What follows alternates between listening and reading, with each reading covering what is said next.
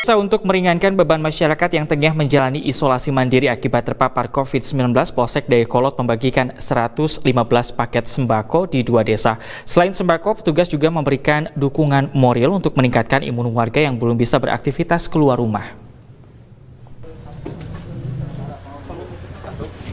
Beberapa petugas dari Polsek Dayakolot mendatangi sejumlah rumah warga di Kampung Bojong Asih, Desa Dayakolot, Kecamatan Dayakolot, Kabupaten Bandung untuk memberikan bantuan paket makanan.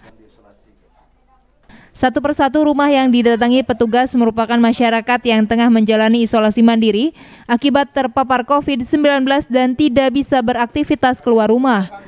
Pembagian sembako dilakukan dengan menerapkan protokol kesehatan, yakni menjaga jarak atau diberikan secara simbolis kepada kerabat warga yang terpapar.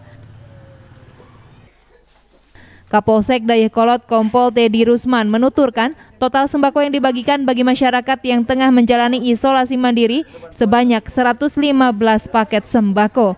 Ratusan paket sembako tersebut ditujukan untuk dua desa yakni Desa Citerep dan Desa Dayakolot. Uh, untuk hari ini kami dari pihak kepolisian khususnya Polsek Dayakolot membagikan sembako kepada warga yang kebetulan sedang diisolasi karena COVID-19.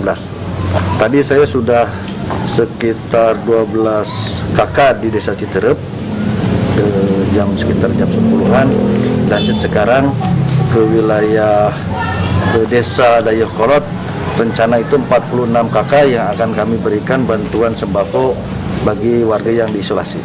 Selain memberikan paket sembako untuk meningkatkan imun warga, petugas pun memberikan dukungan moral agar tetap semangat dan lekas pulih dari COVID-19.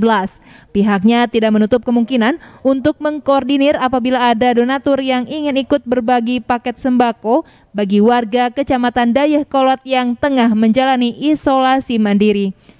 Rezitia Prasaja, Bandung TV.